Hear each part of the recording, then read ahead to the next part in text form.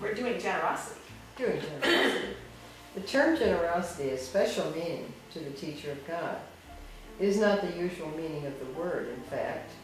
It is a meaning that must be learned, and learned very carefully. Like all the other attributes of God's teachers, this one rests ultimately on trust. For without trust, no one can be generous in the true sense. To the world, generosity means giving away in a sense of giving up.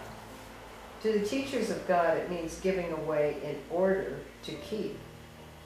This has been emphasized throughout the text and the workbook, but it is perhaps more alien to the thinking of the world than many other ideas in our curriculum.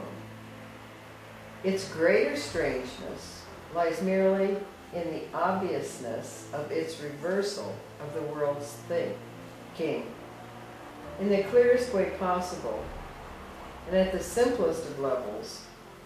The word means the exact opposite to the teachers of God and to the world. I think a lot of people, including myself, um, think of generosity on a monetary level where churches teach you to tithe and uh, to give to the poor and to, to do things. But uh, since doing this, I'm seeing that generosity is no. Generosity is extending the forgiveness Holy Spirit. and the generosity of spirit. I, I, I mean, it's done. Uh, that's Absolutely, that's what the course is emphasizing because he's, we're emphasizing a level of spiritual reality rather than physical.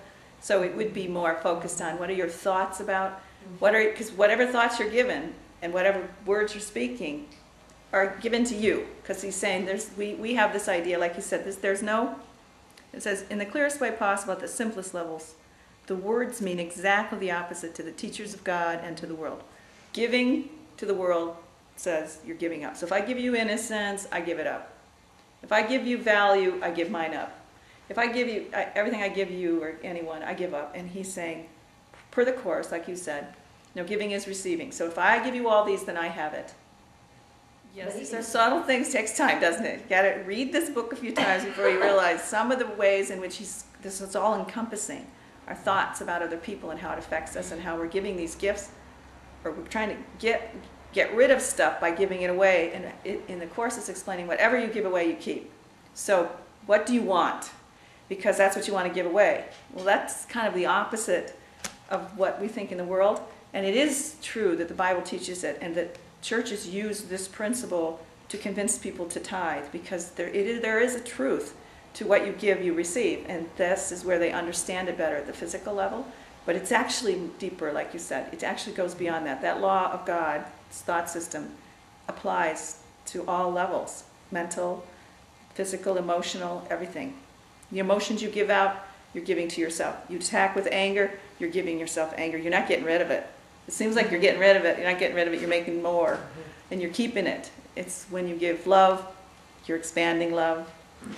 That's why the course is all about teaching peace to learn it, teaching love, forgiveness to learn it,